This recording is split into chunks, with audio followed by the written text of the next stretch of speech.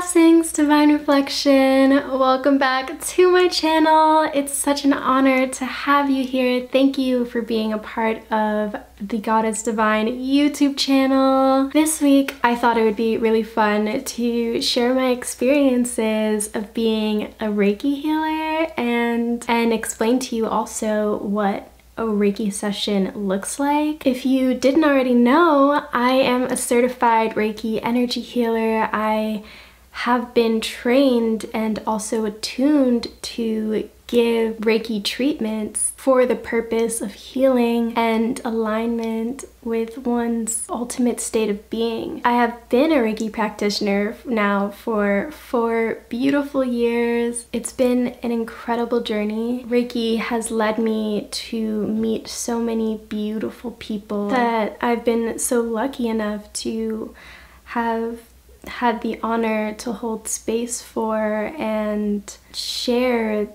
such a beautiful frequency, that of pure light, with these particular individuals. If you haven't already, you can check out my experiences getting physically attuned to Reiki level 1 and 2 and what that experience was like. Because that video did so well, I thought I'd share some more experiences in actual healing energy sessions. Now, I won't be sharing explicit details so as to protect the privacy of my clients, but I do want to share some general ideas of what you could expect. If you are interested in booking a session with me, the link for that is in the description.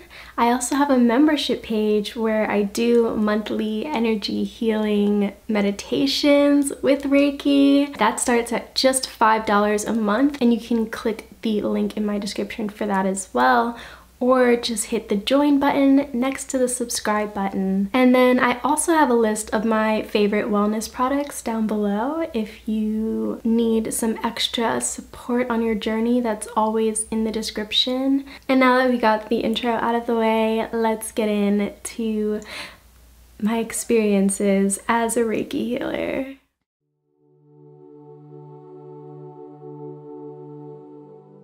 So during a Reiki session, whether that's long distance through video chat or in person, I will usually receive visions along with sensing a person's auric field and energy body.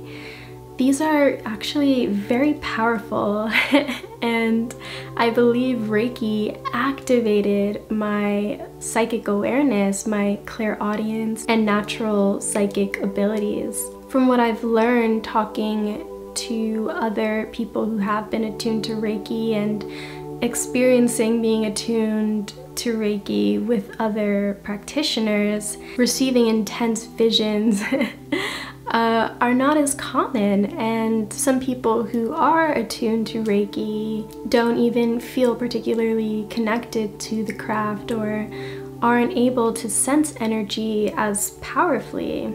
I am a highly sensitive person and have you know a high emotional intelligence and and have considered myself an empath since I learned what that was so I believe that's part of the reason why I'm able to feel energy so strongly. But yeah, when I do receive visions, they're almost always messages or little pieces of guidance that I am guided to then share with my clients. If they prefer a silent session, then I'll save the download the message for after the session or simply ask the client how they're feeling when I'm feeling into, you know, a stronger energy that I'm sensing in their vibration. I'll usually feel this energy as a really intense vibration in my palms. That is how Reiki practitioners channel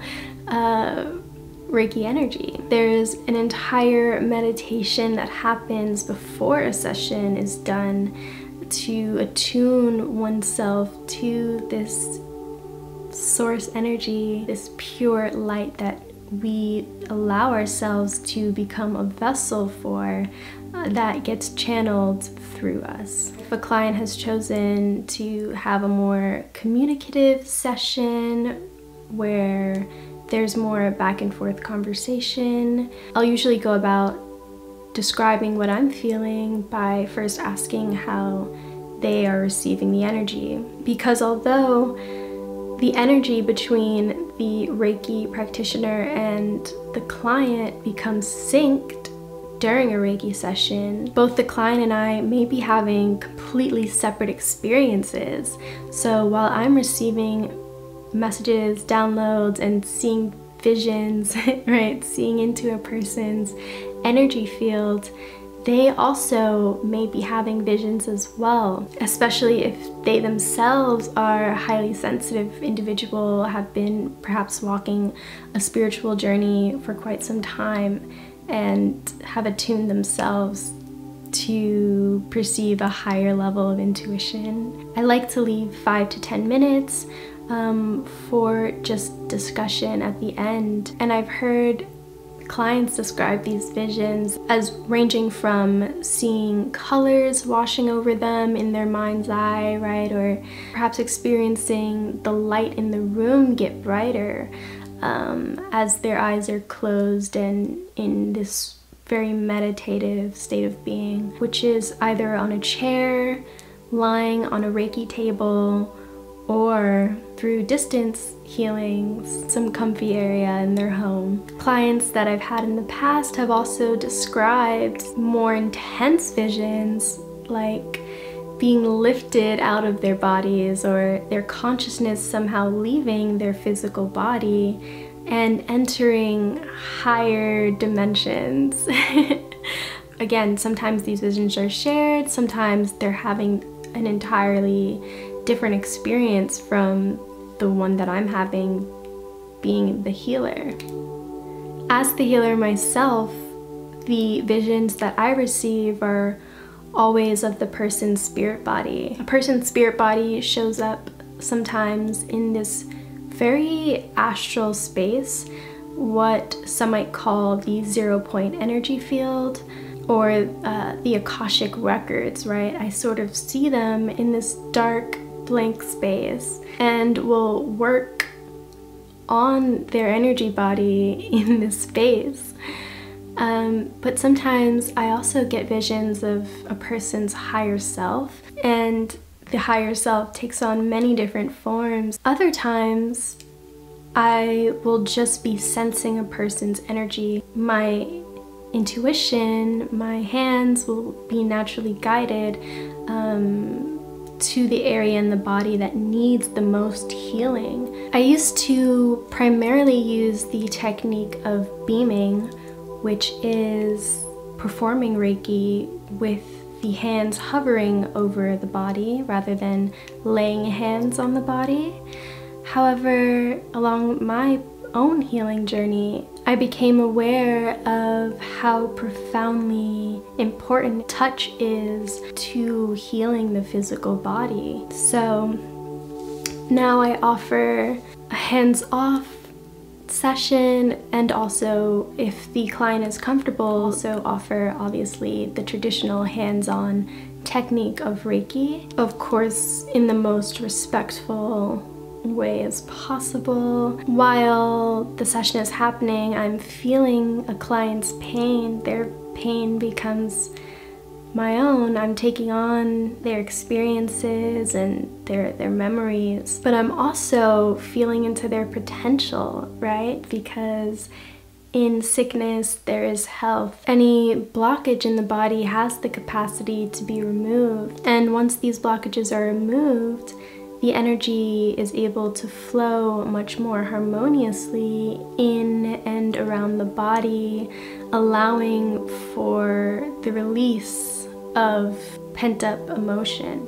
This release can, you know, come in the form of tears it can come in the form of a realization that a client has about a situation. Sometimes the realization doesn't come until days later, days after, in which In which case, I encourage my clients to email me and tell me, you know, their experiences of Reiki as their life moves forward. I love seeing changes that a client makes, you know, with every single session. Also, what I've noticed is that those with uh, intense physical ailments, because the energy is so dense in those particular areas, is that those people will need most will need multiple sessions over time. You know, a Reiki session isn't a quick fix. It's an incredibly deep purge. The journey to healing isn't ever going to be quick, and so you should not expect that when going into a Reiki session, although the effects of Reiki are seen immediately after. After a session is complete, customers will always experience this sort of Reiki glow.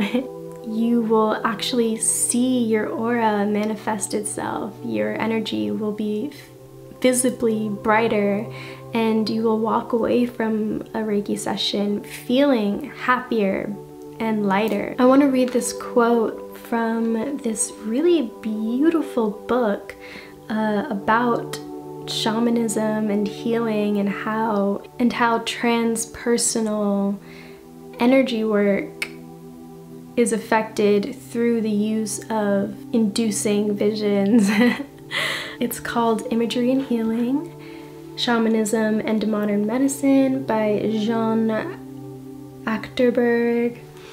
I thought this quote described the experience of a healing container really well. The clairvoyant reality, according to LeShan, is reached by means of prayer or techniques of viewing the healee from a spiritual perspective, or some other technique, such as meditation, which alters the state of consciousness.